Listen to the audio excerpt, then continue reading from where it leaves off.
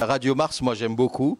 Euh, sport musique, euh, j'ai adoré euh, la chanson qui est celle de la journée, qui s'appelle War de Bob Marley, 76, présentée par Hicham El Khalifi. Et donc ici c'est la fête, vraiment c'est un plateau jeune où tout le monde est cool. Et donc j'espère un super résultat pour l'équipe nationale et surtout un super résultat aussi pour Radio Mars.